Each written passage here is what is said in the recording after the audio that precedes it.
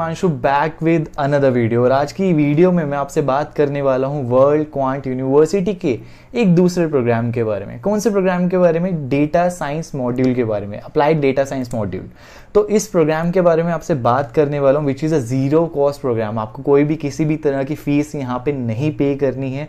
University को, और it's a free of cost program और इससे पहले वाली वीडियो में मैंने आपसे बात करी थी master of science financial engineering के प्रोग्राम के बारे में, जो बिल्कुल फ्री ऑफ़ कॉस्ट प्रोग्राम है। Don't need to pay any kind of tuition fee to the university so it's a free of cost program which is a master of science financial engineering तो आपको उसका link ऊपर आई button में मिल जाएगा description में मिल जाएगा। आप वो भी जाके वीडियो देख सकते हैं।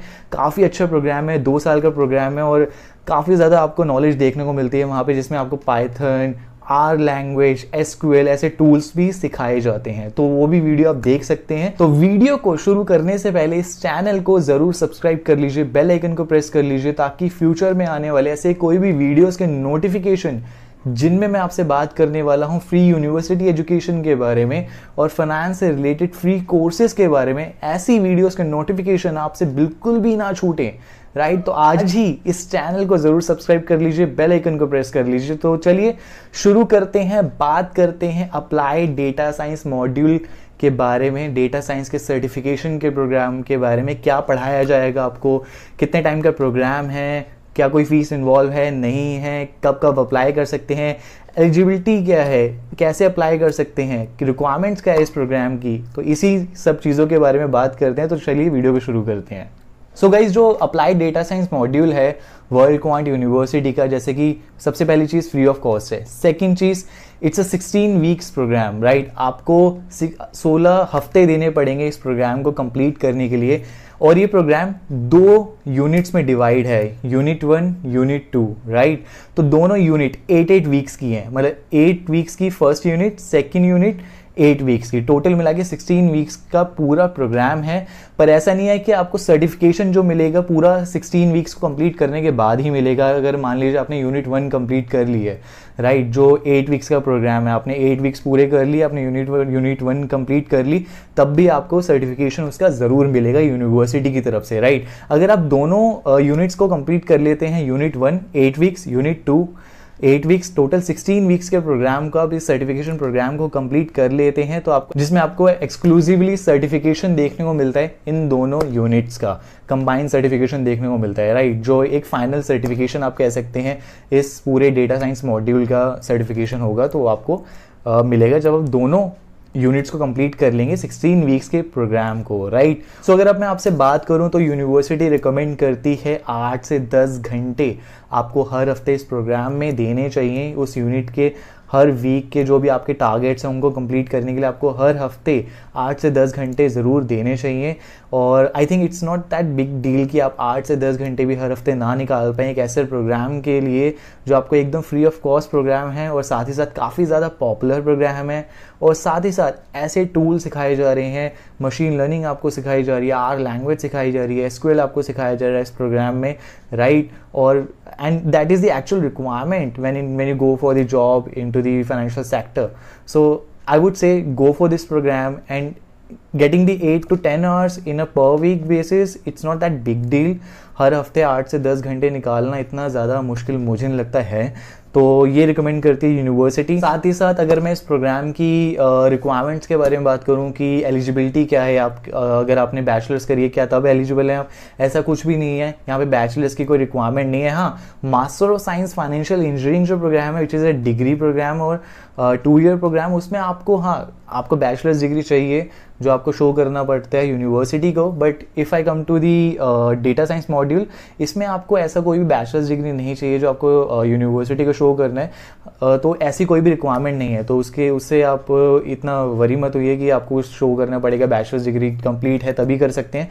तो इसका मतलब अगर अगर आप अपनी बैचलर्स परस्यू कर रहे हैं तो उसके साथ साथ भी आप इस प्रोग्राम को कर सकते हैं which is a plus point क्योंकि ये आपके सीवी में ऐड होने वाला है राइट अगर आप अपने बैचलर के साथ साथ करेंगे, मान लीजिए आप फाइनल ईयर में हैं और it's a sixteen weeks program right so अगर आप फाइनल ईयर के साथ साथ करते हैं और जब आप फाइनल ईयर कंप्लीट करते हैं so you can add this certificate to your C V to show your employer that you have done something which is actually valuable in terms of the financial market, right? तो आप ये दिखा सकते हैं अपने employer को। तो बात करते हैं कब कब एडमिशन ले सकते हैं। जैसा कि आपको बताया था कि मैंने master of science financial engineering के प्रोग्राम में आपको चार बारी साल में ऑप्शन मिलता है एडमिशन लेने का। सेम आपको सेम डेटा साइंस मॉड्यूल के प्रोग्राम में डेटा साइंस सर्टिफिकेशन के प्रोग्राम में भी आपको साल में चार बारी मौका मिलता है एडमिशन लेने का। इट्स लाइक क्वार्टरली एडमिशन होता है तो आप साल में चार बारी में से जब भी आप कंफर्टेबल हो, किसी भी क्वार्टर में एडमिशन ले सकते हैं राइट तो it's not that big deal और जैसे कि master of science financial engineering के प्रोग्राम में बहुत सारी एक अलग अलग रिक्वायरमेंट्स थी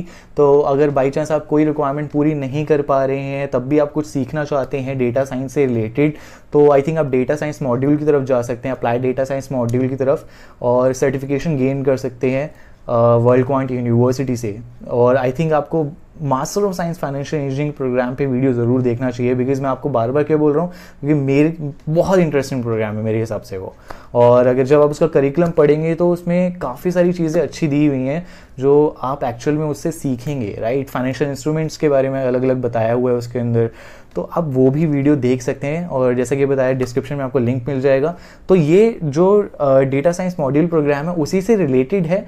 ये मान लीजिए, वो डिग्री प्रोग्राम है, ये सर्टिफिकेशन प्रोग्राम है राइट तो आप जल्दी कंप्लीट कर सकते हैं। अगर मान लीजिए आप इंटरेस्टेड हैं डेटा साइंस सीखने में और ये सब चीज़ें सीखने में और आप दो साल नहीं दे सकते, आप डिग्री प्रोग्राम नहीं करना चाहते तो आप सर्टिफिकेशन प्रोग्राम कर सकते हैं राइट और दूसरी चीज़, इस वेबसाइट का लिंक और साथ ही साथ इस प्रोग्राम का लिंक भी आपको डिस्क्रिप्शन में मिल जाएगा। डायरेक्टली वहाँ से वेबसाइट पे जा सकते हैं कहीं भी अलग से ढूँढने की ज़रूरत नहीं है बहुत ईजी कर दिया मैंने आपके लिए सब कुछ सब कुछ डिस्क्रिप्शन में डाल दिया जाके देखिए पढ़िए सीवी में सब कुछ डाल दीजिए बेसिकली मेरा जो इंटरेस्ट है that is all into the finance तो मेरे को उस चीज़ के बारे में ज़्यादा पता है जैसे कि if you last me about C M A U S if you last me about C F A U S if you'll ask me about CPA or ACCA, CIMA. So I have read lot of things about these program into the past three, four years.